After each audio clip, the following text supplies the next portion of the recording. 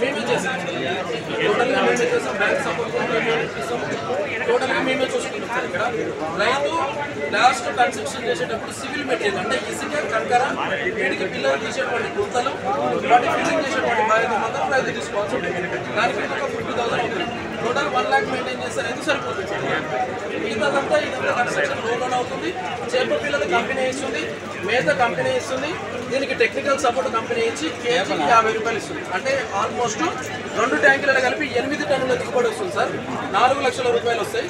మీకు ఫస్ట్ యాభై వేలు మూడున్నర సబ్సిడీ పోగా నాలుగు ఆరు లక్షల రూపాయలు ఏదైతే ఈఎంఐ ఉందో ఆ ఈఎంఐ అమౌంట్ వన్ ల్యాక్ పోతుంది సార్. నైంటీ థౌసండ్ ఈఎంఐ పోతాయి. మీకు నికర ఆదాయం మూడు లక్షల రూపాయలు ఉంటుంది సార్ ఆరు నెలలకు. ఇదే మన చేపలు చనిపోయినా ఏదైనా జరిగినా కూడా రైతుకు సంబంధం అనేది కంపెనీ చూసుకుంటుంది. ఎందుకంటే టెక్నికల్ సపోర్ట్ కంపెనీ చూసుకుంటుంది కాబట్టి వాటికి ఏదైనా జరిగితే చూసుకోవాల్సినటువంటి బాధ్యత కంపెనీ ఏదైనా సూపర్ పక్కన నుంచి పాయిజన్ అటాక్స్ ఏదైనా జరిగితే మాత్రం అది రైతు బాధ్యత. ఎందుకంటే మాకు అక్కడ ఎవరు పగోలు ఉండరు. ఏదైనా ఉంటే మీకుంటారు కానీ మాకుంటారు కదా సార్ అక్కడ. కాబట్టి అదొకటి మీరు చూసుకో అది కూడా ఇన్సూరెన్స్ ఉంటుంది. సీసీ కెమెరాలు ఫుటేజ్ ఉంటాయి. ఎవరు చేస్తున్నటువంటిది ఐడెంటిఫికేషన్ ఉంటుంది. కానీ చాలా పర్ఫెక్ట్గా సిస్టమ్ ఉంటుంది సార్. సీసీ కెమెరాలు త్రీ సిక్స్టీ డిగ్రీస్ ఉండేటువంటి సీసీ కెమెరాలు నాలుగు ఉంటాయి. రెండు బయట ఉంటాయి. సైడ్ ఇటు సైడ్ అటు సైడ్ ఉంటాయి. రెండు ట్యాంకులలో ఉంటాయి.